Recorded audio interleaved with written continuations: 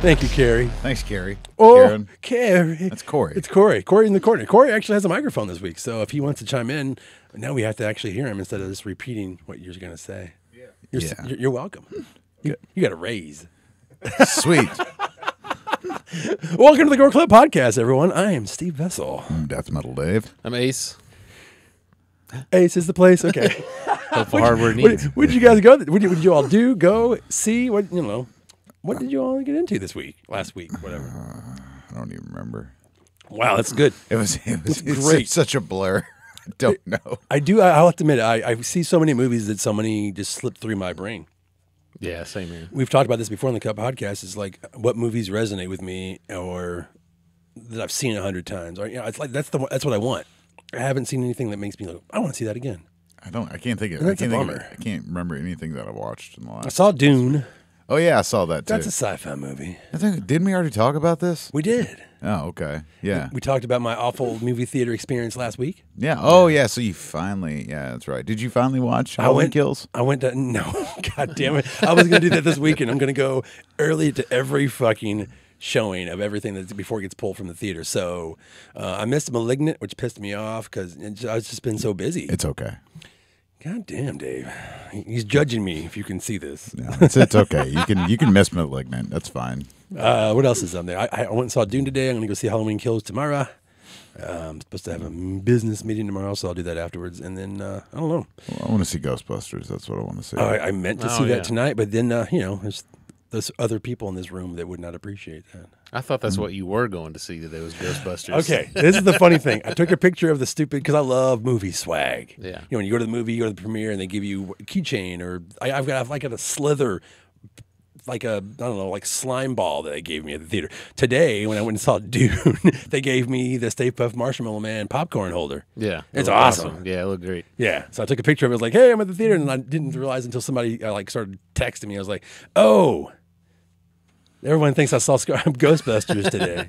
no, you didn't. You saw Dune. I saw Dune doing it. Yeah.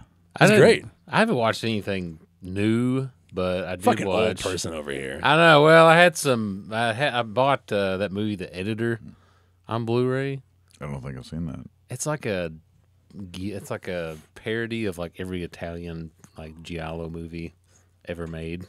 So is it a real parody or is it just somebody really trying to make a movie? No, it's like a it's like good, but it's funny and it's like super over the top violent. Like there's like a scene where This all sounds great. yeah, it's like it's it's really good, honestly. Uh there's like a part I swear to God, there's like a part of the movie where somebody like rips a woman's face off and then her skeleton is like screaming and then he's like, Oh no and then he like shoves it back on and puts her face back on and it's like all fine.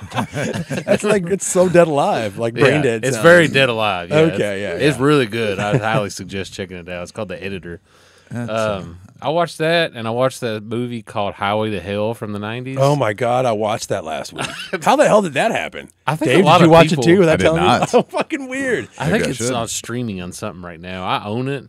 Um, I think I saw it on Hulu. Yeah, it has like the whole Stiller families in it. Yep. Like Ben Stiller, his dad, his mom. Um, Gilbert Gottfried plays Hitler in the movie in Hell. Yeah. It was just C.J. Graham is the uh, is the cop. Yeah, Like it's, like, it's, it's his only other movie besides uh, Friday the Thirteenth Part Six. yeah, Hell Cop. Yeah, Hell Cop. and Lita Ford is in that movie. yeah, she is. It's all. It's just like she just. It's just like her character is just like boobs. Yeah, Like that's what she's supposed to be doing. It's like, well, perfectly cast. yeah, she's And, uh, awesome. I think it's like Rob Lowe's brother. Chad Lowe. Chad Lowe. yeah, I wish he would have been on like what was that, To Wong Foo or whatever. yeah. But like, yeah, it's it's like a really underrated movie. I think it's pretty good. I'm gonna add it the to my effects, watch list. the effects are amazing. Actually, it yeah, looks really it looks really good too. yeah. God damn, who directed that? Is it um, um, um, um can you look that up for us, Corey or Dave, whomever has the second? Uh, But uh, It has know. a very memorable VHS box cover. It does actually. I did. I, that was one of the reasons I didn't watch it as a kid because I that that weird stuck on badly Photoshop before Photoshop Oh, yeah. face of the like- of the demon sideways. Yeah. and I was like, what the fuck is this? Yeah. I'll probably own it. And, I mean, the guy's name is Ate De Jong. okay, cool. Uh, yeah. I don't Oh yeah, that guy. Yeah, that guy. He's, he, Classic. was nominated for a Golden Calf Award. Is it, it sounds like Indian, like India. I mean, maybe. I don't know.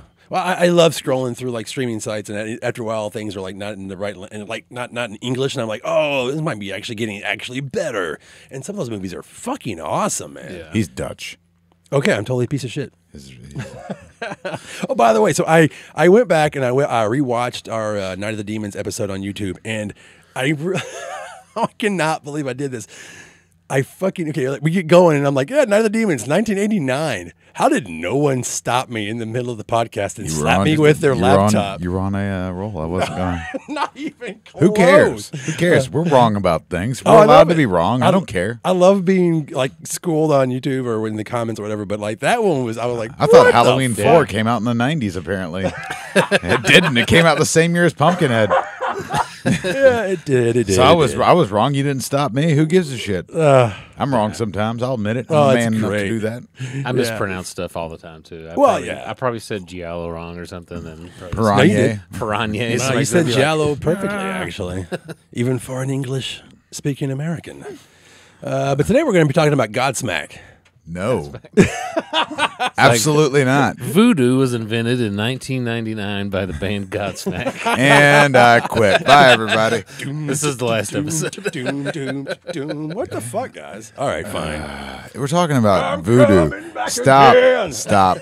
Just, just.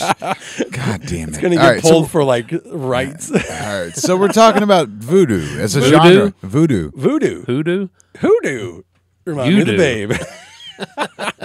Oh, that doesn't count. we suck. Yeah. Oh. It doesn't count as all. Count it all. But uh so all right. We're going to go through a brief history of voodoo. A brief brief history of voodoo. And I think you have some notes, Steve. I'm here to correct you. Go. I can't wait. I got a shit ton of notes. If either one of you or all, all Corey, now you can chime in and go wrong. Uh, so I'll, I'll start this off because I made all these notes. American voodoo, not to be confused with New Orleans hoodoo, by the way, or Santeria. Layman's always seem to mix it up in the movie and put it in a movie blender and just spoot it out everywhere. That's pretty much what I wrote. Because that's that's what they do. Oh, yeah. I know we're gonna go over a lot of that. Somebody crap. somebody gets a, somebody gets an idea and they're like, "What is that? Voodoo?" black magic. Oh, we'll throw that in there. It'll scare all the white people. Oh God, and that's exactly where we're going to be going with a lot of this episode. And uh, not to be confused with New, uh, New Orleans, actually, New Orleans voodoo is also in Louisiana voodoo, also voodoo, and also known as Creole voodoo. Uh, let's see. So the history of this and what David brought up before the podcast is voodoo, is hoodoo. Uh, slaves from Africa and the Caribbean mixed voodoo, which is like I don't know how to pronounce it. It's V O D O U. Yeah. So however you want to pronounce that. And there's V O D U N. This is true. Vodun. Uh, Christianity, mainly Roman Catholic uh, forms that were worshipped by the French. It's like it's a really convoluted fucking thing. Yeah. They they all just kind of put it all together when from like the west, like I said, the West African part, and then they all when they got they gets to the New Orleans. I said it correctly, by the way. Eventually. No, no, I said New Orleans correctly this time.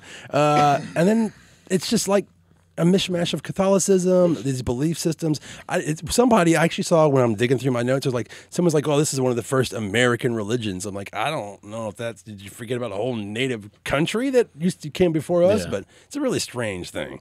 Um, many will point out the connections to Catholicism, though it was never banned or restricted or like. But they put they would restrict black people um, from having large gatherings, so that definitely helped kind of kick it back. It's one of the few religions that that weren't um, abolished, which is kind of interesting. But yeah, it was they. It was uh, you know like Catholicism was forced upon them, Yeah, and exactly. then it was That's that that mixed that's together with what they were already practicing. So one thing that I found that I thought was interesting was about the, the Haitian Revolution in 1791. Now, don't don't fall asleep on me. Just listen. Just hear me out. Hear me out because it has a lot to do with what happened in America with voodoo. So in uh, 1791, uh, there were lots of uh, slaves because uh, Haiti was uh, occupied by the French, right? So uh, they had a ritual. We. They they they had they had a uh, a, voodoo a voodoo ritual ceremony, and on that night it got really got really uh, lots of storms. It got really got really bad outside, and they took it as a sign like, hey, we should kill all these white motherfuckers and get them out of our our, our country, Hell yeah. and they did. Oh wow, and Poseidon. and it was it was it was a revolution on their part. Now, when this happened, you know, you got to think like word of this reached America, and um, you know the, the French had been overthrown, and now they're gone from Ha- Haiti, and now they're their own government. So word of this got to America, and that's what really scared people because you know at that point Americans still owned slaves. So they're they're they're they're terrified. Like, oh, this voodoo religion gave the slaves a right to to to to empower themselves, to free themselves. So they were really really scared of this at this point. You can't have that around here. Yeah, which which shocks me. that You say it was never never you know banned at any at any point. Not because- outright. Not outright. Well, They would have to practice in secret, which even added to its it's evil kind Yeah. of factor bullshit. Whenever we were in New Orleans, um, we did like one of the tours, one of the more serious ones about like cemeteries and stuff, and um, and like they bring up, they brought up the whole the fact that you know it's like a mixture of different uh, religions, and you know there's people that actually practice voodoo, and they were like, you can go to like a church down here, you know, but you know if you're gonna walk in there and be like treat it like a gift shop and be like, where's the little dolls I can point, and like people are gonna get mad at you and ask you to leave. Like, as they should. Yeah, it's a it's a thing that people actually do. That's a respected thing. It's not just you know like Yeah, I mean, a movie device. you can't just go into a church and be like, I got all this water. Who the fuck is that guy on the? Why is he hanging up there? Yeah. I mean, you could. That would be hilarious. If anybody wants to do that, please record yourself. Oh please! Uh, wait. Side note: Dave went to a wedding one time where they had the Buddy Christ painting on the wall. Yeah, dude, that that church is in the Highlands. I'm not It's kidding. just Jesus. Everybody like- in this room just like what? It's just like because I walked in, I walked in, and my Big my- Catholic my- church. Yeah, I walked in. It was my friend's wedding, and I saw saw him like walking around before his wedding. I was like, dude, and he's like, oh, buddy Christ, you saw it too, right? Oh I was my like, god! like holy shit. oh man! Uh, so I had to just side note on that part. But Back uh, to back to voodoo. Yeah. Yeah. But oddly enough, I, I found that it wasn't really after until after the Civil War, the one white people find they tried to really suppress it that way.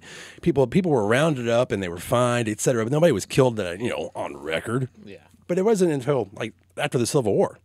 Before that, it was fine. Hmm. That's so you could have your cliche if you're going to, you know, as far as voodoo is concerned, like chickens and animal sacrifices, which they still apparently is part of that uh, of their, you know, of their religion. Uh, let's see. The white writers at the time tried making claims that voodoo was helping black men communicate with white women. Oh no! Of course, that's something that they would have. That's exactly what I found, and I was like, "Holy crap!" And all the things that I'm actually reading are, I double checked. I just don't go to one website and go, "Sounds good to me, man." Yeah. I don't do that. So that, that was one that kind of disturbed me because, but then again, nothing really surprises me when it comes to anybody trying to suppress anybody. Yeah. No, no, you can keep Oh, going. Yeah. I'm waiting for you to cite your sources. You didn't go to Breitbart. for Oh, that's shit, true. I went to I went to Joe Rogan's podcast. Uh, it does not have to. Okay, from what I found, it does not have a sacred text or a book to pull from. It's actually mainly an oral tradition. The religion is passed from generation to generation by word of mouth. It's mostly matriarchal religion, which also makes you know. How dare you? Because women fucking rule, and this is not Yeah. going to be a thing. A lot of ancient religions were very women empowerment, or they were actually worshiping women deities, gods, and things like that. Can't have that over here in the Americas. Um, let's see. Yeah, that's my next note. We can't have women having power. The priestesses are known as mothers, and there is with the four phases of the voodoo ritual, which are identified by songs that are sung in preparation, invocation, possession, and farewell. And the songs are supposed to open the gates and allow deities to possess humans, but not necessarily in a bad way. But you Yeah. just you spell out the word infidel or possess, you're like, oh, that's an evil thing. It's like, wow, man, not all the time, Yeah. not every day. No, you So- keep going. Oh, okay. you guys can chime in anytime you I'm want. waiting. I'm waiting until we get to Live and Let Die, the James Bond film. Live and Let Die. So we still got another uh, like 250 years till we get to 1932, where White Zombie comes up. That's right. We could skip forward a little bit to forward. White Zombie, the first, the first movie about uh, voodoo that uh, prominently stars Bela Lugosi as a voodoo master. Bela. Because that's Bela. that's very that's very believable. They're like, we're going to take this religion and put the whitest dude in Hollywood in it. Right. I mean, Yeah. now this movie was, was made in like what came out in 1932, and is also known to be the very first full length zombie movie of all time, like the first one ever made. Because that's what you know with, with, with voodoo. There's zombies, not like Walking Dead zombies. They're just mindless people Yeah. One of that my are controlled. One of the fav- one of my favorite things I read about, they were talking about how you know pre Night of the Living Dead zombies were victims, as not so much when Night of the Living Dead comes out as they're the people making you the victim. oh yeah. Like they're you know like they're just you feel sorry for zombies in old the old the original kind of zombie movies, whereas then like George Romero's like no you're a victim now. Yeah, he mixed uh, "I Am Legend," a book by Richard Matheson, and and and the idea of ghouls. Yeah. And there you go. And he's Yeah. like, "No, we're doing something different here." Yeah. And uh, if I remember correctly, just from because I had the script upstairs, they didn't even call them zombies in the movie. The original title was the, I think it's the Flesh Eaters, and they called them ghouls throughout the entire script. So the word zombie, I still haven't really thought about where that came from and how they put it all together. But I mean, it's obvious. Right before that, you had Plague of the Zombies, and then you get that, and it's like that's Yeah. completely fucking different. There's a tagline for this movie that I wrote down, which is they knew this fiend was practicing zombieism on the natives, but when he tried it on a white girl, the nation revolted. You're like, of course, that's a tagline for from 1932. Hell yeah, it is. Yeah, so this is made by the Halperins, uh, the the brothers. They wrote and, and directed, and I think produced it. I could be wrong. For like nothing, like fifty thousand dollars, I think. Yeah. And they, and I think Bela Lugosi got five thousand dollars of that. Gosh, that's, Yeah. that's good in 1932 money. Well, that's the thing is like he had just done Dracula and I think Murders, Murders in the Rue Morgue, and the people didn't understand why he would do a low budget film. Yeah, Uh, five thousand dollars in nineteen thirty one. That's a lot of going into 32 yeah Mm. so this is based on the magic island by will seabrook who also wrote the definitive book on voodoo at the time so Bela is yeah he's the voodoo master he owns like what is a sugar mill is that what that Yeah, is? sugar like a sugar cane. cane Sugar, mill yeah. yeah yeah and it's got nothing but zombie workers i'm thinking they're trying to tell us something there yeah, i control you and then he, he does that hand gesture yes, that, he does the hand thing. yeah which that like Martin Landau make fucking even more famous in uh, tim burton's uh, uh, Ed Oh, Wood. yeah, yeah. yeah. Well, this movie was uh, was touted by Vanity Fair as the worst movie of 32. So It was made. wow. What was the Van- competition? Vanity Fair. It was made in 11 days. Yeah. 11 days. quick. And Bela Lugosi's name in the movie is literally murder. it's like murder Legendre or something like that. It's he, yeah, and we are still talking about this movie. I mean, it's influenced obviously Rob Zombie. It's, it's influenced so many people who do, who, who may have never even seen the movie. And you just say White Zombie as long as you- they're not like a metalhead. They're like, oh yeah, I've heard oh of yeah, that band. they're just like ha- devil man, devil man. No, no, no. if they haven't seen the movie, they can go to one of their like 50 horror film collections, and I guarantee they own it. It Oh is. yeah, everybody owns this, whether they know it or not. Yeah, they did a direct re, uh, I mean, uh, sequel to this called um, Revolt of the Zombies, and I had not seen that movie in forever. I have it on VHS in one of those box sets you were just talking about. I'm looking around the room trying to find it, but I guess, yeah, I couldn't find it, so I didn't watch it. But I remember it's like the t- it's like Couldn't find it on YouTube, Steve. man, actually no, I couldn't. I looked up a couple of movies. Uh, you were talking about King of the Zombies in 1941. Did you bring? Did you actually get a chance Yeah, I, to watch I that? watched. I didn't watch it. Re- I watched it. Uh, like it was on another one of those big box sets of like fifty movies, and I was going through and like actually trying to watch all those like during COVID when everything was Holy closed. shit! So I was like, I'm gonna watch all these movies. They've been sitting in my shelf, and King of the Zombies was one of those. Um, and it, it was actually better than I thought it was gonna be. Um, Okay. it was actually it's more of a comedy than anything. No way. Uh, it's Well, those big box like free movies things are like all like public domain. I I never get past like Creature from the Haunted Sea. I'm like, oh, I'm done. yeah, but it's like it's uh, an evil doctor working with foreign spies in control of zombies, and it was also nominated for an Oscar for best original score for a dramatic movie. Holy shit! King of the Zombies. Um, That's rad, man. Yeah, I know. And the the main the main dude that's in it, who's like the comedic relief, um, his name was like Mantan Moreland, Okay. who was a big comedy guy at the time. And the basically the only reason I bring that up is because they put him in the movie because there was a Bob Hope movie out at the time called Ghost Breakers. Yeah. That was a really big deal, and they're like, "Oh, we got to take this King of the Zombies and make it funny if we're going to make money on this thing." So they put him in it as comedic relief, which Ghost Breakers is the original thing that I think Dan Aykroyd was referencing when he made Ghostbusters years later. A little bit, yeah. kind of, yeah. He was basically, I think at one time they may have called it Ghost Breakers. They did. Before was- film was- before filmation was gonna, not going to sue him or whatever for using Yeah. their Ghostbusters that he took. Absolutely, yeah. Because Ghostbusters was a live action television show and a cartoon before Yeah, Dan Aykroyd The called real- it Ghostbusters. Yeah, real Ghostbusters. yeah. They had to do that for the cartoon. yeah, Yeah. the real Ghostbusters. Uh, I also put uh, Walked with a Zombie up there, 1943. That is another uh, sort of you know slap voodoo into a movie, and you know it's you got you've got a bad guy, you've got voodoo. Yeah. But uh, this one was a little bit different because it wasn't like if you watch it, it's if you watch this and White Zombie together, White Zombie's more tongue in cheek, like ooh voodoo, and this one's more like this is what happens, and it's more. Um, according to things I've read, it says it's more true to how voodoo was. Now, there's still some corniness and some cliches in there, but better. Yeah, They tried. and it's kind of an They- artsy ending. Yeah, yeah. They, they this you know was made in '43. They could have kept with the the boogeyman sort of theme, but they break away from it a little bit and make it more more of a less less of a satanic cult. I guess. I guess is the, best way to say it. Yeah, it's black. It's a black magic. It's a Satanism. It's just like oh, you're mixing and you're mixing all this whole bag of bullshit up, and then you're gonna make a scare tactic out of it. I mean, like with you know, like this. Yeah, I thought about this as I was writing some notes for this episode. This time last year is when we did. I don't know if it's a coincidence or not. We did our very first witchcraft episode. Oh yeah, that dude didn't know a lot about uh, Warlock. He was very upset. yeah, we had uh, we had Jay Gravatt, who is a uh, is a practicing witch, uh, on the show, and uh, we went through it. And, he, and his, to be honest, he was like, "You want to see a real movie about witchcraft? Watch a documentary." Yeah. I mean that's a that's as real as you can get. I don't know, man. He was really on Witchfinder General.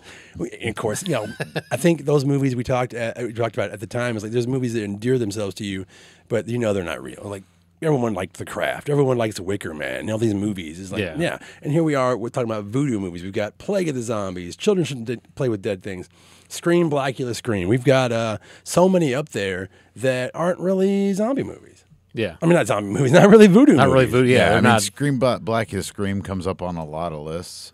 Yeah, Um, but uh, you know, you, you don't have Sugar Hill up there. I don't. Son I did bitch. watch. I watched Sugar Hill. Oh fuck yeah! I really wanted to rewatch it because it's on Prime, I Yeah. totally forgot to put it up there. but I forgot to watch it. Uh, Ace, go into it. It was pretty good. I got home from work today and watched it. Um, fell asleep, missed the end of it. I wish I'm going to go back and watch. So it the probably has a really good ending. so the ending's probably really good. But uh, uh, so the woman's name is Diane Sugar Hill, and right. she is Hell yeah! a gang breaks in, kills her boyfriend Langston. She goes and meets this voodoo woman.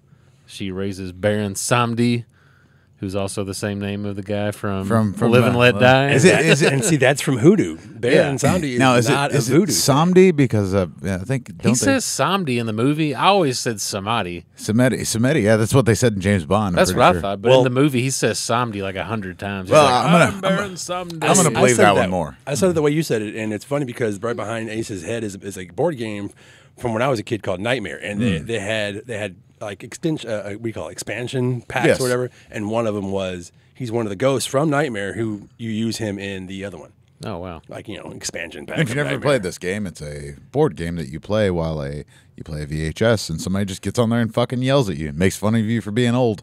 yep, yes, my gamekeeper. Yeah. Yeah, So uh, yeah, that that's that. But But I always thought Baron movie. Samdi was just that guy from GoldenEye from Nintendo 64. No man, he's got Little deeper, did I know. that deeper game is roots awesome. than that. Yeah. that game is fucking awesome. But uh, they raise so she gets this guy. So they go out in the jungle or in the swamp and raise Baron Samdi, and he comes up and he's like, "Ah, ah, ah, ah," and he has like his two like dead wives, um, and he raises an army of the dead, That's right. and they have these big silver eyes. Like they just have big pieces of silver in their eyes, and it looks crazy. They're all covered in cobwebs. It looks really cool. And Sounds very Fulci. they're all going around getting revenge on all these guys, and she like catches one of these uh, dudes like on a dock somewhere, and she's like, calls him like a white devil, and you're like, hell yeah. like, and they just kill the shit out of him. See, that's the kind of movie that I want. I need to go buy. I want to own something like that. I, I Scream Blackula Scream is one of those rare instances, especially back then, where the sequel is better than the original. I love Blackula, but Scream Blackula Scream has, for one, Pam Grier, badass. Yes. Uh, William Marshall is, I think he's just found his role, even though he'll never play the character again.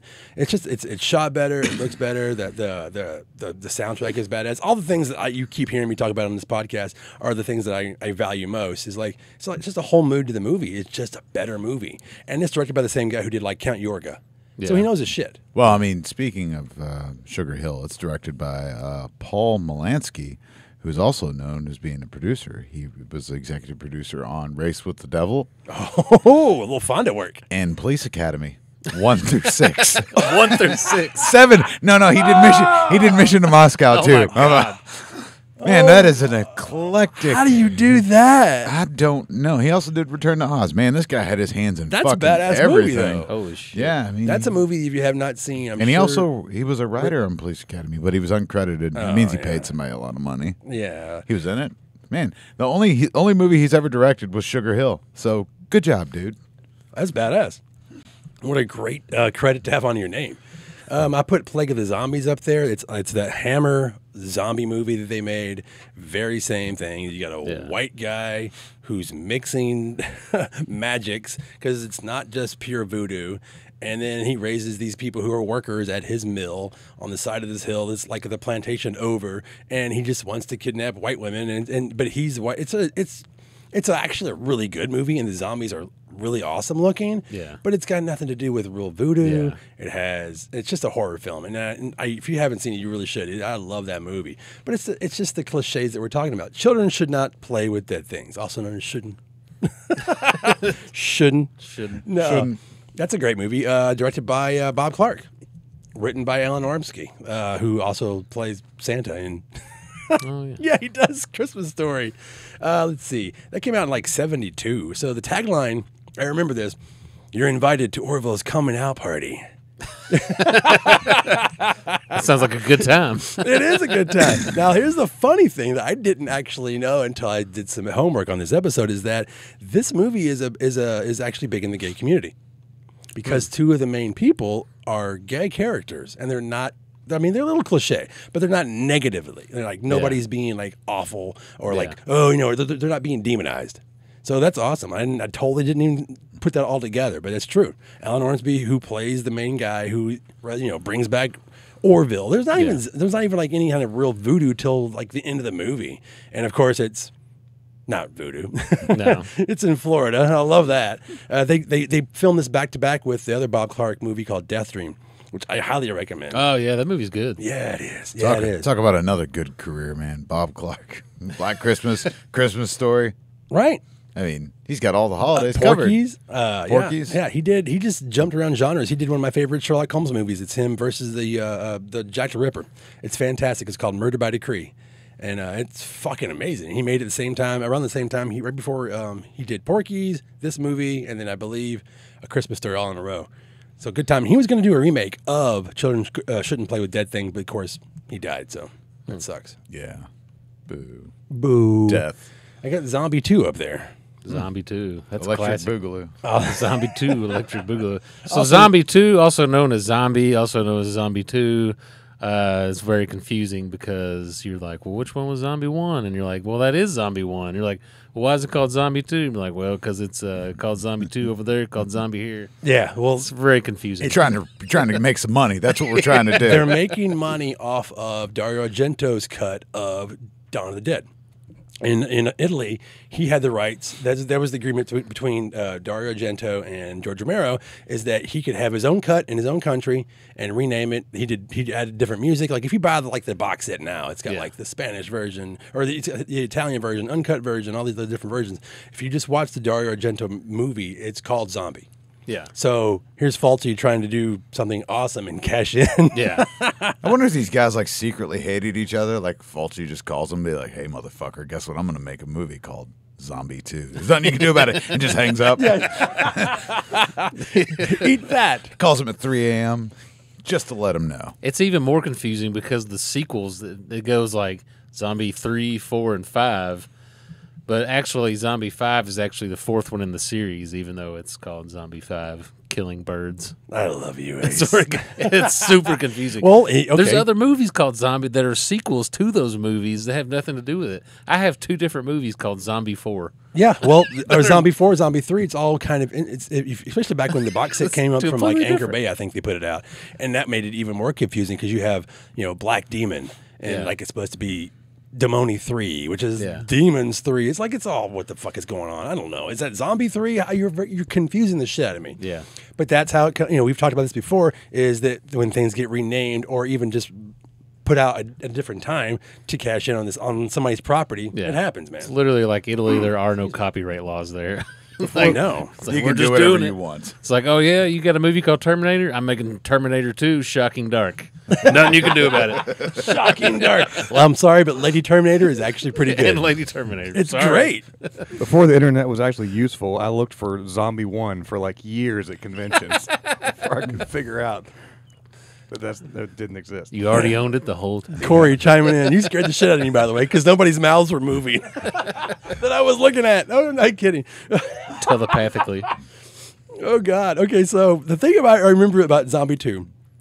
When I when the internet actually became a thing, I would sneak down during work times and get on the remember like the lap like uh the computer room. Everybody has a computer. Yeah, but not at work. It was a cool thing. Yeah.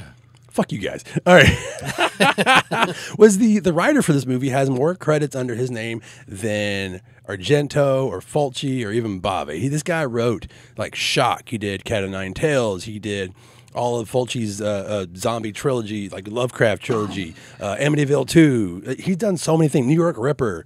Um, I should have made notes on all this, but I didn't. I'm just pulling it out of my head. But that guy writes some of my favorite Italian movies. I fucking love him. He doesn't get enough love. So there you go. Well, from there you go from seventy nine all the way Well, to we- eighty seven. You can't go past Zombie 2 without ca- talking about a shark shark fighting a zombie. Yeah. Well, yeah, music got- by uh, uh, what, Fabio Frizzi. and, yeah, that's uh, a great soundtrack. Um, that scene with the zombies walking down the Brooklyn Bridge. That was a big deal. of it, That was a like huge that was like that times uh, 28 days later. They like, how the fuck did they do that? Yeah. Which- Yeah, it was really cool. when you're looking at it now, you're like, it's supposed to be like an apocalyptic scenario where like the zombies are coming to New York, but like underneath them, it's just traffic as usual. there's just there's still cars driving by. Like we couldn't stop this part of the bridge, or like just film it. yeah, just film them because walking. people, because people in New York be like, "Get out of my way, you douchebag! oh man, It's I like got a- places to be." Because people in New York are fucking rude. Yeah. But I won't elaborate. Anyway, Zombie Two, all the way to Labyrinth. labyrinth. we are going to do a dark uh, fantasy uh, episode. I think we should, and it'd be fun to uh, include that uh, on it. Well, we could do that, but he does sing a song yeah, he does. about voodoo, Steve. Voodoo. That's not the. song. I mean, I guess I don't know. You'd have to sing the rest of it for me before I would know. Fuck off. Go ahead, Steve. Oh my god, fuck off. No. All right, Oh, all right, God. that's fine. I've got Angel Heart up there. We already talked about this. I'm bummed now. Damn it. Yeah, we did talk about Angel Heart. We did. we did a whole episode on Satanic Panic, Yeah, it was good. and that came up. And Angel Heart with uh, with uh, Mickey Rourke. Mickey Rourke, yeah. Ro- Ro- Bobby De Niro. Robert De Niro, yeah. Lisa Bonet, and I did find out uh, that I didn't remember. I didn't find. I didn't know back then. Didn't remember because I didn't know it. Uh, that Dustin Hoffman was going to play the Mickey Rourke ca- character at one point. And I was like, What? what? the fuck? I think he did Rain Man instead. I- made a whole lot more money. I guess, man. They were supposed to do a remake of Angel Heart in 2007, I think, or 2009. It'll happen. Nothing. It, it should. It's a great book and it's a great idea. I think the movie's actually better than the book, which is interesting because it's the same. Like he wrote his own screenplay originally, and then Alan Parker took it over and was like, "No, we're going to add in New Orleans, and then we're going to add this in." I mean, it's all suggested in the book, but they don't go. They all just stay in New York. I thought that was the best parts of the fucking movie. So there you go, Angel Heart. We're not going to go back over it again. No, we shouldn't. We shouldn't. But it was good. It was good. Uh, Oh man, of- that's one of my favorite Lots uh, of- lots zo- zombie movies. Probably the uh-huh. only. There's Rob- no zombies in it. It's The voodoo. zombies in it. It's- Robert De Niro's probably the only horror movie he did. I mean, I can't think of anything else that he would have done that would have been remotely horror. I'm Yeah. not even gonna fucking try to think of it. I mean, I mean, I don't know. That's the, I can't think of anything else. Cape off my Fear head. is Cape pretty Fear. fucking Sorry, Cape terrifying. Fear. Cape sorry. Fear. There you yeah. Yeah, sorry. I'm an idiot. Nerd. No, you're not an idiot. It's just so hard to take keep track of so many movies, especially when you're on the spot in front of a microphone. Yeah, God, Yeah, and I love Cape Fear so much. Speaking is. speaking of oiled up bodies, What a great remake. Zombie Nightmare. Zombie. Oh, yeah, oh, baby. God. That's a good way. You talk about Cape Fear, and you've got Bobby D like pumping some iron. Now you've got Thor. John Michael Thor. I call him Milky. John Milky Thor. John Milky Thor. God, he'd be the worst person to fucking be in a room with. so the we de- did. We talked about this on the heavy metal episode. We did, um, but something I didn't. Uh, well, I we maybe discussed. I can't remember. We the thing about this movie is, did, did John Fasano direct it or did he just write it? Because like Jack, uh, what's his name, Bravman? yeah. Yeah, like I think from what I read recently that I didn't know then was that John Fasano pretty much directed the whole movie. Yeah, it says he's uncredited. Well, of course. You know, you don't take credit for something. I mean, th- you know, Maybe he you're saw the nice. final product and he's like, uh, n- He added like, oh, I'm only going to add an hour onto the movie. Is that cool? Yeah. this is the fucking director's cut like Dune. Oh. There's a five hour copy of Zombie Nightmare out there somewhere, guys. Go get it. It's an Alan Smithee version. It's just there's there, there's another hour of Thor oiling himself up and fucking arm wrestling the devil. Yeah. Vinegar Syndrome's going to put that out next year. Black Friday's coming up, guys. hey, I've got friends who work there, man. I'll, I'll put the word in. Please don't. Ba- So basically, that movie's uh, the movie there. Uh, it's its whole voodoo tie is uh, uh, he gets hit by a car full of teenage stereotypes. She's talking about Milky. yeah, John Milky Thor. he's a softball player. Base plays baseball. Um, they get a Haitian voodoo priestess resurrects Tony as a zombie and uses her powers to guide him to the teenagers, aiding him in his revenge. Yeah, that's right. And- and that's it, it is a revenge movie, and there's there actually is a lot of voodoo in this quote unquote Yeah. voodoo. Could you imagine if he kicked your door down? like, I'm here to fuck shit up. yeah, in a baseball cap and some armor. It's like bringing Scantily thunder onto clad. tundra. He's like, did fucking who who let fucking He Man out? What the fuck is this shit? He did look just like He Man back then. How did they get Adam West? Did we even discuss that on the heavy oh, metal episode? How did no, they get Adam barely. West? Tia Carrere was like nothing. She's like Yeah. 19. Oh, throw money at somebody who like throw me money at me at 19. I'm like, okay, I'll be in it. Adam West was uh, that got him because he was post Batman, pre Family Guy. Yeah. oh yeah, In that weird middle ground where everybody was like, "Who the fuck is Adam West?" you got to work, man. You got to work. Yeah. Sometimes you got to do things you're not proud of, Steve, and sometimes those things are zombie nightmare. it's not good. I, I I like it because I love, as we say, this piece of shit. But uh, it's not a good movie. No, it, it's uh, it's a really good episode of Mystery Science Theater 3000. And it is on there. Yeah, that's right. I forgot they did that. Yeah. That's fucking great. It's also got Motorhead at the beginning of the credits. Yeah, yeah. Good soundtrack. So what is what is the next one, Steve? What is Uh, that? Serpent in the Rainbow. oh yeah. Ooh. This Dave, might go- be the go ahead. Wes Craven's scariest film, hands down. So Dave Fight wants me. To, yeah, Dave wants to put this out there. So hit us in the comments on the YouTube channel and be like, It what? is. It is like, oh, you scared of spiders? We got those. You scared of being buried alive? We got that too. You want to be buried alive with a fucking spider? We got that. Snakes? We got that. I mean, somebody gets their fucking nutsack hit with a railroad tie. Yeah, it does. I yeah, oh, it does. dude, yeah. It's it's a vicious, vicious movie about some Harvard prick that works for Big Pharma that goes to Haiti to get drugs because they send them out on these they send them out on these trips. They're like, go to this rainforest and find this drug. We can help people because we know what all pharmacy companies want to do. They really just want to help people. Money has nothing to do with it. No, God, I couldn't. I can't believe you would suggest that. And you know, he just goes to Haiti. He goes to Haiti and he's like, I'm gonna find this because there's a drug that that brought this guy back. And this is before the internet. So he saw a video. This guy came back to life. Yeah. He's gonna go find this drug, this miracle drug. Which I don't think that was enough evidence for me to like hop on a plane to Haiti and just in a war torn country and try to find Dude, a- people went to the woods to find fucking Bigfoot. Did you ever see that video? that was, might have been more believable. Yeah. Well, that that is that is Pull, Pullman's job, Bill Pullman, who's actually actually amazing in this film. He's He's- this, really good. This is before he was president, right? oh yeah, Yeah, way okay. before, way before. And uh, let's see, it's oh, it's, what's the guy? I had to write it down. Zakes Mokae. Yes, he is awesome, and you will you will not know his name. Most people won't know his name, but if you saw him and heard his voice, Oh, man, He's so terrifying. good. He's, one of my favorite bad guys. I want to hear you scream. Yeah, I want to- to hear you scream. Yeah, He's he- like, "Ah." He's Captain Peytraud in this, and he's in Waterworld. He's in Vampire in Brooklyn, and he's also in Oz, the TV show. Yes. So yeah, that, every time I see that guy's face, I think of the scene. It's like five minutes in where like the he goes to get the um, he gets something else. Like I think he's in Brazil or something, or he's in like the Amazon. That's it's really hard to tell because it's just like oh you know there's dark people and there's Yeah. there's a woods. I was like okay There's whatever. a witch doctor. Yeah, it's a little raises, but Yeah. it- like where he closes the cloak and then Bill Pullman opens it, and Oh, it's yeah. his character just shaking, looking at him. I'm like, "Hol- I'm in. I'm, I'm dig. uh, Let's do this. I am Yeah, the balls movie- deep in this the- movie. The movie's really good. It fucks with your mind. There's that. Uh, there's that, that that mental battle he has with Bill Pullman at the end. Yeah. the, the mind fuck area. But I mean, you know, like I could talk about this movie. We, we should talk about it some in depth one day. It's Yeah. got the But oh, well, I mean, the scores by Brad Fiedel, who did like Fright Night, which is one of my favorite soundtracks of all time. Dun, dun, dun, dun. Anyway, sorry. And if you own the CD of this soundtrack, you need to fucking hold on to that and make sure it's in really good condition because they did not make a lot of those. Oh, yeah. Just I mental read note. As a soundtrack collector myself, yeah, it's one of those they just didn't put a lot out because they didn't put a lot into the release of this movie. Yeah. Hmm. This People- movie, like this movie, has like one of my favorite things, which is well, you're in a town and everyone's against you, and you don't realize it. it's got a Wicker Man feel yeah, to it's it. very Yeah, like it's like- very.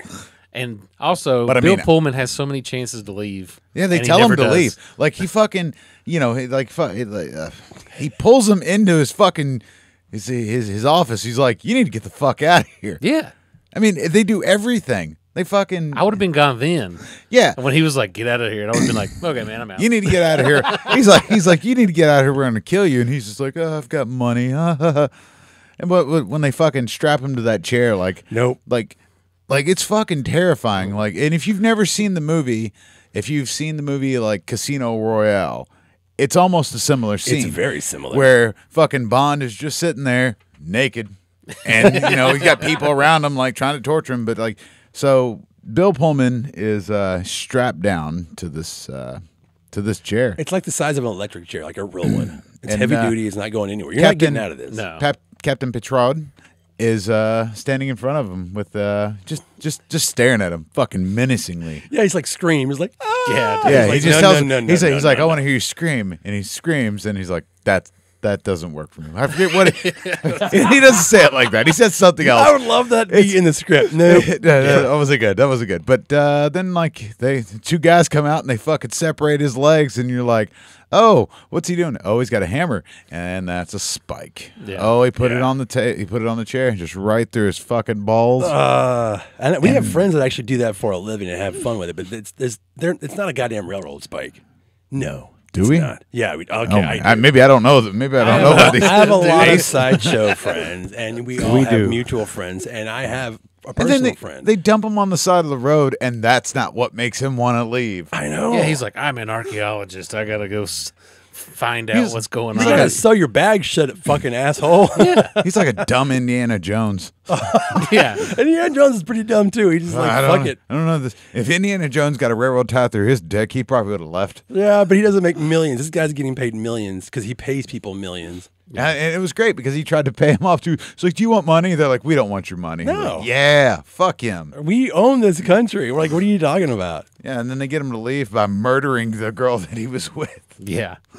so I, I wrote the uh, I wrote the name of the book that this is based off of. It's called "The Serpent and the Rainbow: A Harvard Scientist's Astonishing Journey in the Secret Societies of Haitian Voodoo, Zombies, and Magic" by Wade Davis. It sounds like a light read. Right, based on the experiences of Clairvius or Clairvius uh, Narcisse, who was a zombie for over two years on that drug, the tetrodotoxin. Yeah. Yes. Okay, Which is which which has been proven to be bullshit.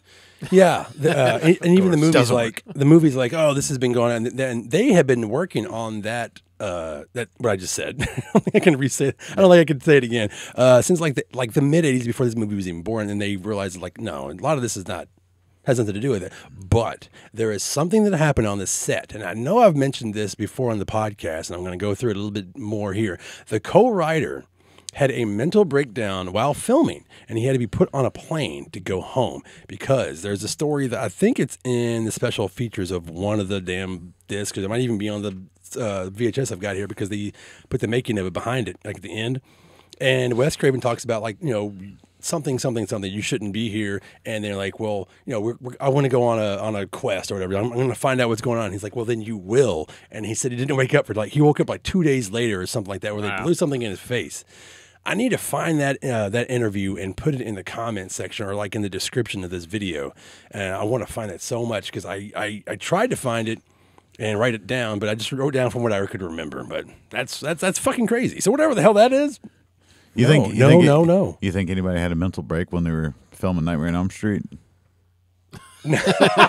Saying this Johnny- has to, this has to be a scary Johnny film. Depp. He, he fucking Werner Herzog just fucking crew man.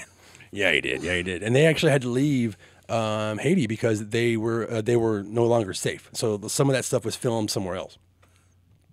Serpent of the Rainbow. It's underrated. Big It is time. underrated. Yeah. Yeah, And if you haven't seen it, like just fucking forget what I said and just watch it. Just don't be just don't be scared of anything because Wes Craven takes every every major phobia and just puts it in that fucking movie. Yeah. Yeah. And if Mortician sampled it and put it in one of their songs, you know it's a good movie. You know it's a good movie. They're on tour. so from a whisper to a scream, 1987. Did anybody watch that one? Nope. I did. Oh, nice. Oh, Ace did. I did. Directed It's, by uh, Jeff Burr. Tell me about this one, Ace. It's a uh, little tale. He's got to find the in I'm notes. gonna- sorry. Yeah, it's the second segment of the. It's uh, different segments of horror movies where Vincent Price is like telling Yeah, it's an stories to anthology. this woman. It's an anthology. Um, it's really good. Uh, the whole movie's really good, but the main thing about this, which we're talking about now, will be the voodoo, which is the second segment. Um, it's an escaped slave uses voodoo to stay alive forever, basically. Yeah, it's called On the Run. Yeah, and uh, this white dude who gets killed by some people he owed money to, he picks him up off the side of the road, uses it to bring him back to life. Um, and the guy realizes what he he sees these clippings of him where he's it's like it's where he finds out this guy's like he's like oh this guy's been around for like over a hundred years. So he's like, I want your, I want the secret, I want your secret, give it to me, and they get in a big fight.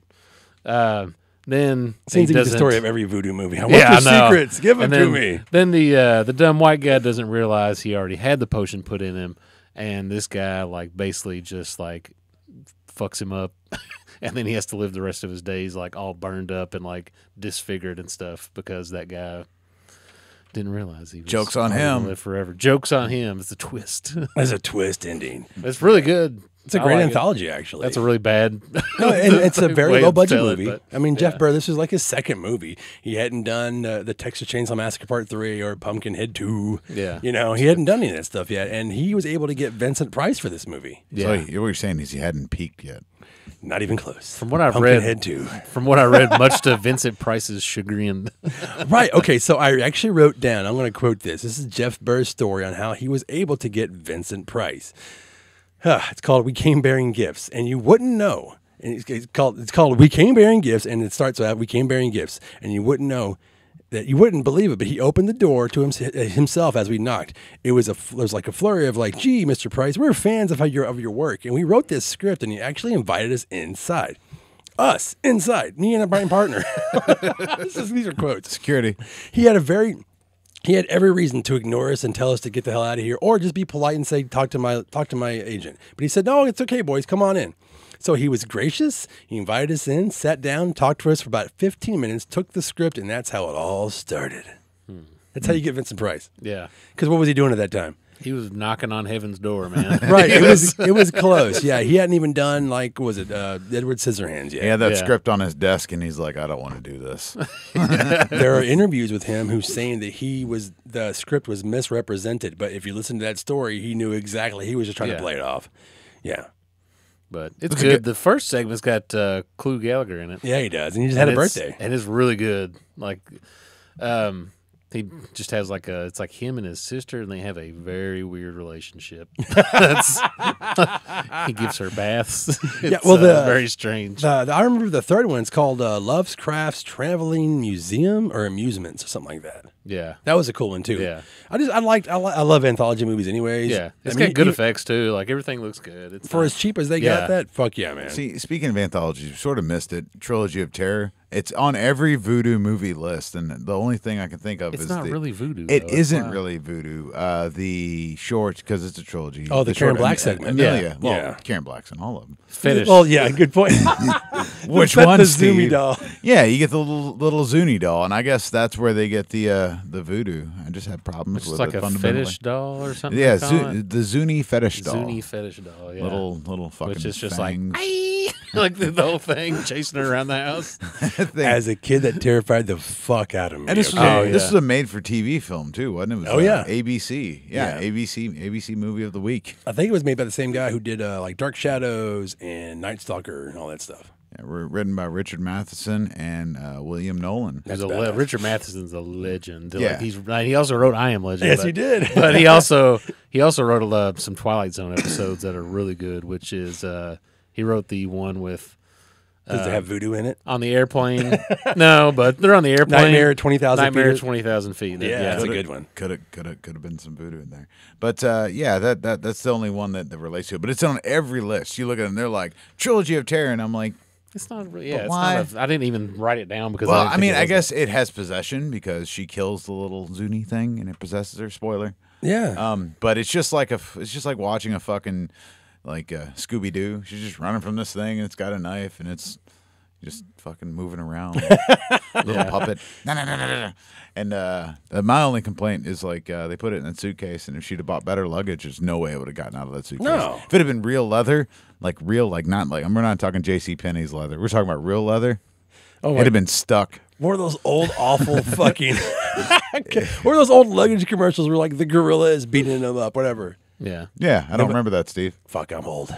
It's kind of like you know who did it better. The Simpsons pretty much ripped that off, and they had that one where like The Krusty doll. They had the little Krusty doll, and the guy was like, "See what your problem here is? You have it turned on evil." and he puts it on good. I know. Well, talking about dolls, I've got Child's Play up there. Yeah, see, that's what I think of when I think when I when I think of voodoo What a segue! because Hey, man, it's Be- right there. Because because uh, there's the two things. One, you get Charles Lee Ray, which we we're going to do a Child's Play episode soon, so we won't we won't we we won't go too too far in depth. But he he uses voodoo to put his soul into this doll, this good guy doll, because he's a good guy, right? Oh yeah. No. He's your friend to the end, Dave.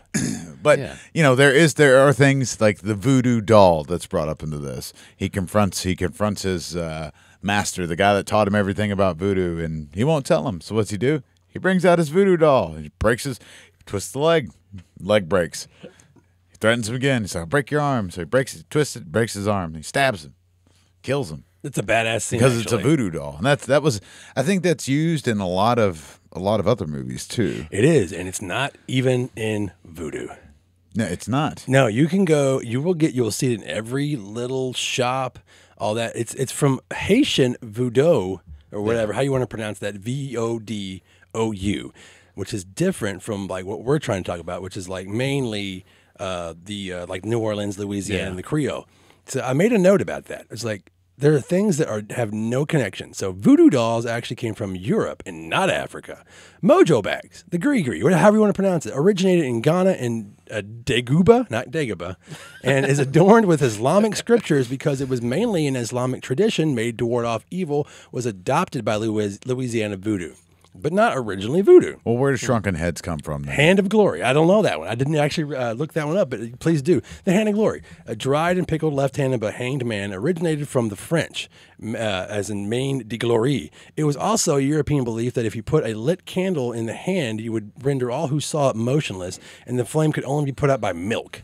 This is not a voodoo thing, but it's it's, it's like appropriation, man. Yeah, That's all. I remember. I was like, uh, it's, "We're going to talk about that, yeah," because that's such a great fucking scene in Child's Play, Yeah. where he's torturing the person who taught him the magics. because he knows he's evil. Damballa, They got also Haitian. yeah.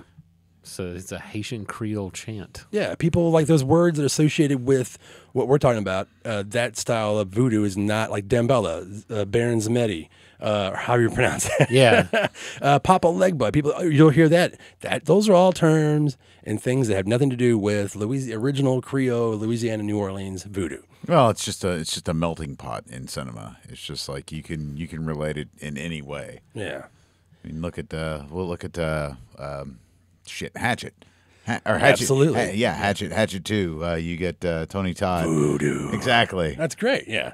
But you will also go down to any coun- any not just country, but any state, any city, whatever that is. Like say it's a it's the, it's the Catholic farm. You go in there and they'll be like, well, that's actually Baptist, but we just sell it here because it makes money. You go into those kind of shops. I mean, I've been to Memphis where they have all kinds of like altars and things like that.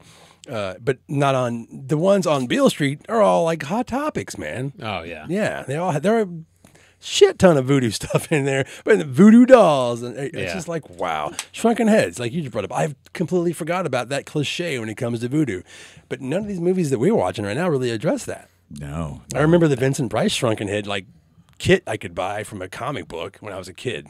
Yeah, some so this isn't uh, com- documented. Uh, this is the northwestern region of the Amazonian forests. Yeah. So just not even close. No. Peru, Ecuador.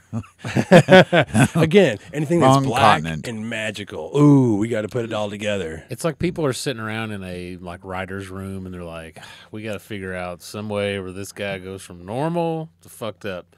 And some guys just like, ah, voodoo. I don't know. And they're like, put it in the movie. One of my favorite episodes. I just we were just kind of, I barely even said it, but uh, there's a show called Kolchak the Night Stalker. One Oh, of my yeah. favorite episodes is called The Zombie, and it's terrifying. It's the one where he's that's like uh, these mafia guys are all getting killed up in Chicago, and they're all getting broken in half by a guy that was wronged by them, whose mom is a voodoo priestess. So she brings him back, and he. Takes the bus around town I'm not kidding. And he's rotted and fucked up looking, but you never really see his face. But you can see like like at one point, Kolchak, the the, the investigator, his name's Kolchak, he jumps on a bus that the zombie just got on, and you can see the back of his head like all boils and bubbly and shit. I'm like, you just on the bus. One, did he bring change? like, He's got a fast pass. I guess. You Yeah. know, sorry. cold check, public transports. and it's a great episode where it's got voodoo, a voodoo priestess. He actually looks up and he tells you all these facts that don't make any real sense when it comes to actual voodoo. You have to sew the zombie's mouth shut while putting salt in it. And I'm like, who the fuck is doing that to a zombie? Golly. but there's a scene where he has to go, uh, uh, creep into this old, like, broken down, um, what do you call it? Goddamn, car graveyard. What are they called? Junkyard. Thank you guys. Salvage yard. Yes, and he has to crawl inside of a hearse that this body is laying in, and he crawls next to it, lights all these little candles while the zombie's asleep, and he's just sweating, and I'm sweating watching this scene. The music's perfect. It's a, it's something I you should definitely seek it out. They just put it on Blu-ray. Kolchak the Night Stalker. They made two TV shows, two TV movies to follow that. Uh, the Night Stalker and the Night Strangler, but. One of my favorite episodes It's of that been on whole my list forever to watch. a lot of those. Motherfucker, buy Yeah. it, man! It's so good. So We'll have a watch party. Speaking of other TV shows, X Files. X Files did one. I say I forgot about it. There was an episode called Fresh Bones. That was an Oh, X nice. Files episode where they where they touch on voodoo, and it's been so long since I've seen it because it was season fucking two. oh yeah, Those are my favorite. See, the X Files, like season one and two, when it was like Monster of the Week. right. Those were the best ones. I hated it when they went to like more of like, a, hey, if you missed last week, you're never gonna know what's going on this week. Oh yeah, the underlying like the whole story arc going yeah, on. I which- liked it. It was just like, hey, what town are we in this week? There's a crazy guy. There's a monster. Let's figure it out. Yeah. Wrap it all up in one episode. We're done. that is hilarious because Chris Carter has quoted many times as saying the Night Stalker is the reason how you made X Files. So good one, Yeah, X Files, Dave. Did you Ta-da. bring it up? That used to be an event, man. X Files came on. You were at home watching it. Oh, yeah. it was, That's right. it was oh, an event. absolutely. It's Yeah. back when they wouldn't let Gillian Anderson lose weight. Yeah. which was really weird because you're supposed to have sexy Fox. And they had to like get- you fucked up, man. When she got, I mean, she's always hot. But, Yeah. Like when they when she was allowed to lose weight, I'm like, fuck you. Okay, you know what? I don't want to go into that. And but, they had a guy on the show called Cancer Man that smoked all the time. right, right, right, right. That was fucking in your face. But that was the sexiest duo on TV forever, man. Plus those names there, Scully, Mulder. Scully. And we- we're not gonna go. Mulder. We're not gonna get in the fucking tangent. We don't care about his fucking lost kid. We're gonna Maybe if he knew some voodoo, he could bring him back. So let's go to uh, what's next? Yeah, Voodoo Dawn. Don't know did- shit about that. Oh, man. what is that? I wish got I got. Tales from the Hood did a. Well, Tales from the Hood. We're Yeah. getting to that. Are we? That- on- We're not there yet. That's We're the- No, no, we're on. Uh, Sorry. I, I've got Voodoo Dawn on the wall there. I've got uh, Demoni 3, which we kind of talked about. The uh, Umberto Lenzi, uh, also known as Black Demons. Uh, and then you've got Bava made a movie called Demon 3, which is known as, it's actually The Ogre, which is a made for television movie, which has nothing to do with voodoo or zombies. I've never seen that. It's par for the course for the Italians. Yeah. I love one. I love. I love Demons one and two. I've never watched that third one. Yeah, uh, that's what it, that's what it's called in in Italy is Demoni three. Uh, but shock 'em dead. Oh, Shock 'em Dead rules. Yeah, let's talk about some Quadros and some Traci Uh, Lords. Tracy Lorgia, Ma- Michelangelo Badio. he has the double neck guitar. Yeah. It's a Mark Freed movie uh, starring Steve Quadros, who most people we've touched upon this one time before, and I cannot remember the episode, but it was like when we had Derek, and he was It like, was probably the heavy metal. We did the heavy episode. metal episode. "Oh yeah, okay." Then we won't have to go too much into it, but I know you're itching to talk about it, Ace. Oh, uh, yeah. Guy makes a deal. The guy wants to be a rock star, and he Don't we all? he, he goes and tries out for this band, and they're like, I can't remember the song they're singing at the end of the movie, but it's like awful. uh, it's I just remember really, the really long bad. fucking solo, double neck solo. Yeah, but he sells his. Uh, he makes a deal with a voodoo priestess. She promises him the fulfillment of all his dreams Then he wakes if he up in bed. swears obedience to her. Yeah, that's right. And he wakes up in bed with ladies, and he can play guitar. They have to drink your blood, but you can kill them with like yeah, Yeah. he can't eat food. He has to kill people to live. Well, I Yeah. mean, most rock stars in the '80s didn't eat food; they just lived off cocaine. Yeah. there's one really good part in that movie where he's like, if like there's they're working at a pizza place which has a like hole drilled in the wall so he can watch women change. So you're like, this is supposed to be the guy you feel like he's like the hero of the story, and you're like, oh, he's also a sexual predator. That's nice. Yeah, he's pretty bad. but he like he shows back up at the pizza place later on and like literally like looks in the window and he goes, "Give me a fucking pizza." Shock him dead, everybody. now we can talk about Tales from the Hood if you want. 1995. That's right. That's when we get back to that's that's that's when we start get back into the uh, black exploitation horror horror era again. Um, Tales from the Hood, man, good soundtrack. Rap song on the soundtrack that makes it good. Yeah, it does. Horror horror films with rap songs are great. What do you got from this one, Steve? Not much. I thought you much. guys had more. I got it. Go KKK ahead. comeuppance. Yeah. is what That was one's that called. was that, That was, was it. That was a that was really Another good. great actual uh, fucking anthology movie, actually.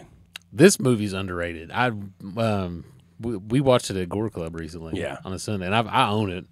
Um, but it's really good, and it and like and everything. It has like a meaning, and it's like it's not just kind of like a dumb horror movie. Like everything on there, like you kind of get to the end of it, and you're like, yes, get revenge. Right. Like, That's do how I felt when I watched Candyman. I'm Yeah. like, fuck yeah, man. It's really good. Um, the the segment of this one is there's the racist senator who's based on pretty much any senator from the South. Just name one. Throw a throw a dart at Yeah, a board. You'll get Strom Thurmond. There you go. but uh, he like lives in the house where what they call it was Miss Cobbs, who is a hoodoo witch. Um, she has the dolls in there, and they transferred the slave souls inside the dolls that she created, and there's a painting of her surrounded by the dolls on the wall, and he's like gonna like move in. There's all these people protesting at the house because everybody knows this guy's racist and he's living in this house that he shouldn't be living in. And then all the dolls come back and get the revenge on him and kill him, as they should. as they should, they which makes you see that and you're like, yes, kill that old racist white man. so this th- this movie was directed uh, by Rusty Cundiff, um, who also he didn't he didn't do he he did a lot of television. He did uh, a lot of Dave, the Dave Chappelle show. Oh, nice. Um, it was written by uh, him and Darin Scott. Uh, Darin Scott uh, had also written Stepfather too. Another underrated so, movie. so back, Actually, yeah. back to Jeff Burr.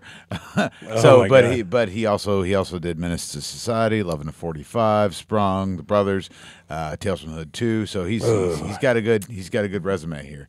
11 and 45 is great. Tales from the Hood 2, mm, not so much. I didn't watch it. But I mean, the movie had like Corbin Bernsen, David Alan Grier, Anthony Griffith, uh, lots of lots of people that you may not know their names.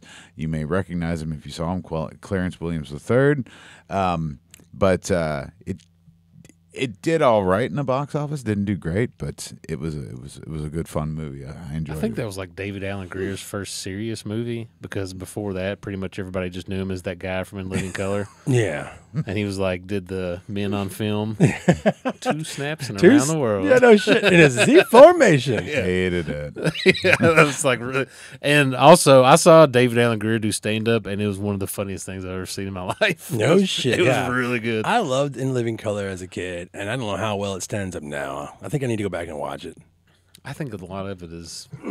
I've saw some of it like years later, and I think it's more funny when I was a kid. Yeah. Well, Well, well, mainly the I think mainly the Jim Carrey stuff was a lot more funny.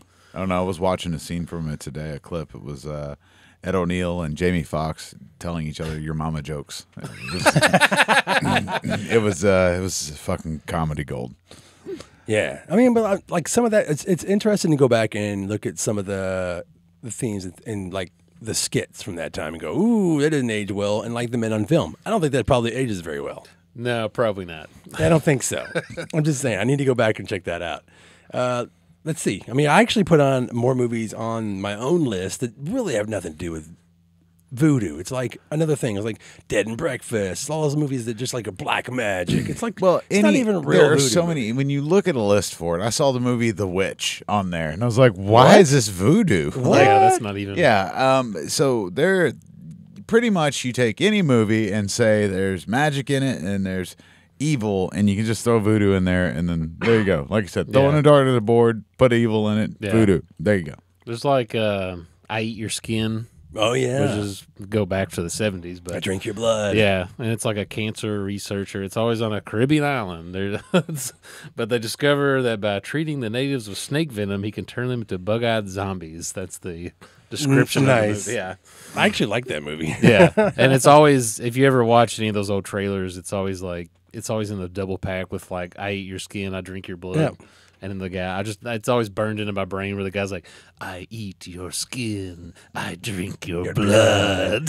There's a great band. I don't know if they're around anymore. Called the Exotic Ones Oh, from the Exotic Ones. Tennessee. That's the name of And one they of wrote the a great song called that. I drink your blood and I eat your skin. So I looked up uh, a couple of things that I thought was very interesting when it came to actual voodoo, and one of them was a few times a mother, as a, you know, as a, a priestess, uh, performed a ritual to help the community in New Orleans, and one of them in 1995 was a ritual to perform to drive out violence and drugs out of the community, which is really great. Here's another one. In, in 2001, one was performed to help the Saints win a football game. So, so to improve their chances of winning the Super Bowl, which I think two years later they did. So yeah, yeah, yeah, yeah. Two years later, they did had to take after a note of that. after Hurricane Sandy. So so so what you basically told me is Oh. a voodoo ritual is the equivalent of thoughts and prayers. I don't know. I'm not. Uh, well, That's what you just said, dude. I didn't. I wrote it down and I repeated it. Okay, damn it. we could just we could just start doing rituals for everything. A fucking football game. Yeah, yeah, Oh, sure. man. Why not? Yeah. Some people are just There is, I, I guarantee there's probably a, a whole bunch of dudes who have like a voodoo doll of Tom Brady. They're just like pushing pins and like, when are you ever going to die? and apparently they don't know that it's all bullshit. But you know whatever. I was raised Catholic. All everybody ever prayed for was uh, UK to win a game. They would they would do that. They They would do do that. pull the Tebow. You waste wa- Oh. waste your prayers on something like that. God, it's a it's an interesting journey to go through film history as well as just normal just fucking American history and then knowing where a lot of this comes from in different countries and, and trying to pull facts and and fiction and pull it apart and figure it out. I mean, I had a hell of a time trying to figure out what Yeah. some of these movies are voodoo or not. And the and the answer is the same thing I think what Jay said last November when, when we recorded the witchcraft one. Just watch a documentary, man. Yeah. Yeah, I think I think that is true. With the exception of you know a couple of them, I walked with a zombie. Like I said, there they they try to go into like what actual voodoo or voodoo is Yeah. in that movie. But I mean, you go past that, it just gets more and more ridiculous and fun. Yeah, I think some of these movies are just trying to be fun. We didn't. We barely talked about anything. Uh, let's. We haven't talked about Maniac Cop three. Badge of silence. that, doesn't, know, that doesn't fucking count. Hey, he, uh, Uh, n- excuse me, they did bring him back through uh, voodoo. a, a priest practicing voodoo arts resurrected Matt Cordell in that movie. So Oh shit, that's right. oh yeah, I did. I saw that. It's oh my god. It was okay. It was, like, it was written by Larry Cohen. God rest his soul. Yeah. And directed by Bill Lustig. Bill Lustig was so fucking pissed off that because he he they kept fucking with the script and kept messing with his script and uh, his uh, his his budget that he only gave him like a uh, forty five minute movie. Yeah, So someone else, and I forgot the guy's name, came in and finished like and just added a bunch of scenes that were not supposed to be in there. They kept messing with the script, like I said, and he's just like, "Fuck it." So now, if you watch the version that I think that's put out now by his own company, Blue Underground, it's like Alan Smithee, I think. oh yeah. Oh yeah, Uh, it also that movie has the same church as Prince of Darkness. it does. Jackie Earle Haley is in it. Dude, that that? cast is great, man. Robert Davi, Robert Z'Dar. Yep. Except Robert Davi is a fucking psychopath now. If you go to, he's a fucking Trump conspiracy theorist. Oh, yeah, he, he is man. Like I, it, they watched Maniac Cop two on uh, last drive-in, and someone was like, "I wonder if he's." St-, I was like, "I wonder if Robert, you know, uh, uh, Robert Davi's still alive." And I went to his. Tw- I was like, "Oh, he's got a Twitter." Oh, Not the Wishmaster. Oh no, that's a di- well. I don't. Did he play Wishmaster? Or he was these- Wishmaster, right? No, no, no, no, no. no, That was a Robert that's Davi. Andrew. Andrew. Oh, Andrew Div- Div- Dividoff. No, Robert man. Davi, Andrew Divoff. It sounds kind of. We've done this before on this podcast. We we gotten these these actors confused, and it's funny. Uh, They another look one was, alike. Well, another one was like Arnold Vosloo, who played Darkman in two and three. We got him. He's also in The Mummy with Brendan Fraser. I've got Which him one was up. in Showgirls? one of those two was in there. Oh, It wasn't I can't- Robert I Z'Dar. You'd never forget that chin. well, not Robert's. Yeah, that Conan. You broke that jaw. yeah, I talking about Tango and Cash. Oh man. This pig broke my neck, my back, and my mm. jaw. You Any- broke that job. Any day we can get a Tango and Cash reference, and I'm happy. Oh God. Anyway, Ted Raimi's in that movie, Yeah, he is. and Jackie Earle Haley. yeah, he does. He, he gets he gets killed like five times in that movie. Yeah. It seems like to me. He gets Robert shot, shot. Forster. Yeah. Oh, Bobby. Bobby Forster, And Robert Z'Dar. Robert Z'Dar actually would visit this area a lot because I have a friend who comes to the Gore Club who would make these really interesting movies and Robert Z'Dar would just be in them. Like, Yeah. okay, this, this, this episode we're going to fall down some steps and it's Yeah. It's Robin Z'Dar at the end of the steps. Was- yeah. this is before he died. This is like a couple of years before he passed yeah. away. Super Hell, I think the name. Oh, you know I what I'm that talking about. Super Okay. Hell. He plays Yeah. like Granny Bob or something It's like fucking. Yeah. funny, man. Very and like zero budget movies. Oh yeah. They're having a good time though. I, I appreciate that. Especially, you know, you're gonna just hang, hang out with your friends and make a movie that Yeah. not too many people are gonna see. I mean, I think you can find it on YouTube, but Yeah. But the best thing about before we go on, Maniac Cop 3 has the best chase scene in a movie cuz the he's driving the cop car and it's on fire and he literally like pulls up next to the guy that he's chasing and just like puts his foot out the car and kicks the car over. like it just like flips over. he's the road. maniac cop. It's so good. And that movie's kind of a love story because of, like it's at the end, like they show his hand grasping Katie's hand. The girl, Yeah. yeah. I was like, it's a love story, damn it. But you don't With get that voodoo. cool song from No, Maniac Dave. Cop Dave's 2. shaking his head. You don't get the Maniac Cop rap in the second in the third one. There, though. there's no rap. It's not. It's not worth a shit. Which we've talked about many times, Yeah. actually. He's the Maniac Cop. So, so I That's think our roundup of voodoo I think I think we're movies. gonna wrap it up. Let's so, end it on Maniac Cop. hey, well, let's just end on Maniac Cop. This seems like the most relevant movie we've talked about tonight. It's totally real voodoo too. no, it's not, Steve. It's not. But uh, so what's uh, Don't do it. What? what uh, what what's your what's your favorite voodoo movie? I think we're all going to say the same thing, but I'm going to say, okay, you know what? I'm not going to choose ch- choose Angel Heart, and I'm not going to choose Serpent in the Rainbow. Wizard of Oz. Fuck you. Out of all of these, I I'm seriously, uh, I'm going to say Scream, uh, Scream, Blackula, Scream is way up there. Zombie Two, fuck. I mean, there's some really good ones. Child's Play, I love the first one. Oh, we'll say Child's Play for you then. Okay, thanks, man. It's it's fitting because that show is actually pretty cool. For me, it'd be toss up between Serpent and the Rainbow and Sugar Hill. Oh yeah. Those are both excellent Yeah. movies. God damn, yeah. Scariest Wes Craven movie ever made. Fight me. It is. I'm gonna. Yeah, that's my choice. Serpent and the Rainbow. It's the only one I think that takes it slightly seriously. Yeah, Like- he did. They did their best. Yeah, everything. Oh, like if you look at any, you look at any zombie or any zombie movie before Night of the Living Dead, or anything with voodoo in it from like the 30s, 40s, and 50s. It just looks like a Smashing Pumpkins music video with like a bunch of people who like who just kind of are just like, yeah, this is a vehicle, and a white guy is a voodoo queen, voodoo king. It's always like a white guy who's the voodoo master every time. Right, like, right. Bela Lugosi. which is Yeah. not voodoo. Yeah, and that it's is the difference between hoodoo and voodoo is that voodoo is mainly uh, a female. And, Do what? And hoodoo is uh, fuck off is mainly voodoo men. You do? Yeah, and- and you sons of bitches. I'm just hate- trying. Hey, Steve, just sing the song for me. I'm just trying to cry as hard as like babes Why can not? cry. God Who damn does it! he remind you of? Fuck Remind you of the everybody. baby? You're all on Does it fire. remind you? Okay, get us out of here, Dave. All right, but before we go, I'll let you know why we keep bugging you about this. So we have side bets, and we're gonna do this every time we score. Our side bet was to see who can make you sing that song, and nobody succeeded, so nobody wins this week. I'll come up with another one for next week. Okay, you bastards. So uh, stay tuned to see what we uh, try to gamble with on Steve. Oh, whatever you know I'm gonna do. Voodoo. All right, get the fuck out of here. Anyways, uh, thank you for. I'm just gonna turn off his mic here. Just turn it off. off. Hey, God's mic slaps. Oh, I'm gonna slap No. the shit out of somebody. Anyways, And uh, this is the last episode of the Gore Club podcast ever. thanks for listening. You can find us on. Uh, I turned off your microphone, Steve. you can I would have done it too. You can find us uh, on the list is gone, but you can find us online, Spotify, Apple Music, or Apple Fell Apple down. Play. like my life. God damn it, Corey, hold that sign up. I'm there on you a go. budget here. Anchor FM, Breaker, Google Podcast, Overcast, Pocket Cast, Radio Public, Spotify, Apple Podcast, uh, Castbox, Verbal.com. You know what? If you're listening to this, you probably already found us. So whatever you found us on, please like, share, subscribe. You can find us on YouTube, Facebook, uh, OnlyFans. No, not yet. Okay, so It's uh, just gonna be me rubbing your foot. Only foots. all right. Uh, thanks to all the people that are listening to us and uh, Peru, Poland. It looks like new places. Maybe a VPN changer. Who knows? Anyways, we're gonna get out of here. Bye, everybody. Bye. Digga, digga, digga.